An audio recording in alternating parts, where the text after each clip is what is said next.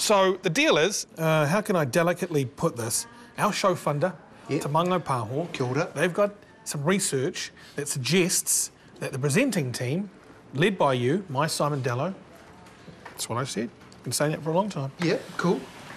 Well, you're getting a little whiter. Some people suggest that you're coming off as a as a white guy who's a panel beater from Lynfield. From Lynfield. Exactly. Can I ask you a personal question? Yeah, yeah, yeah, yeah, sure. As an aside, are you a white girl right now? Is that? I'm just. Hmm? You, just some of you, yeah. And just some of the things you're doing. Your fancy sunglasses. Is this is this knitwear you're wearing? Is that? It's cotton.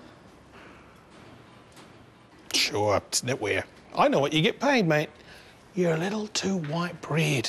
You gotta kind of soul it up, solidify, do what you have to do, but you gotta do it now.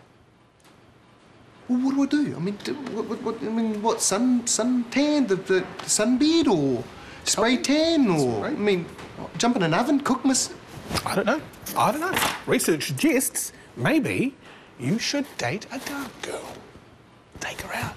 Go to KFC. Watch a basketball game. You know, things like that. Go dancing to hip hop music. Get jiggy with it. What's up with the stereotypical shit? We don't need that stuff in this show. Well, what do you want me to do? Boss? Huh? Well- What, go down the pub, beat up some white guys? Get my missus to cook me some eggs? It's a start. Huh? I love eggs. What's wrong with that? I'll come round to your house. She can cook us some eggs, put them on toast, bit of sauce. Lovely.